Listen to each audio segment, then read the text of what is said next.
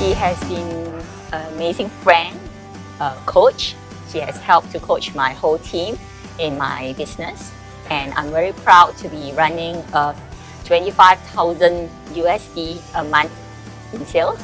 She's very supportive, she's very caring. And sometimes even when I'm not well, she will boil some something for me to drink. It's how amazing this person is. And being a person uh, with kind-hearted, she always do uh, charity. Uh, she always participate in uh, those events that you know give back to the society. She's giving her proceeds to charity.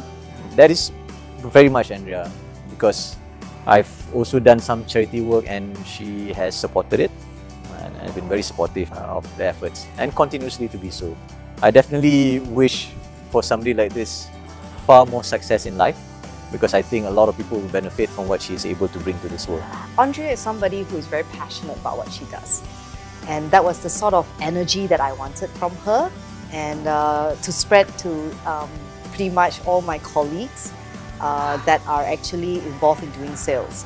So sales is not something that comes naturally to most people and Andrea had that sort of um, amazing motivation that would extract that sort of energy out of my salespeople. You know, she is such an amazing person, very generous, she's very eloquent.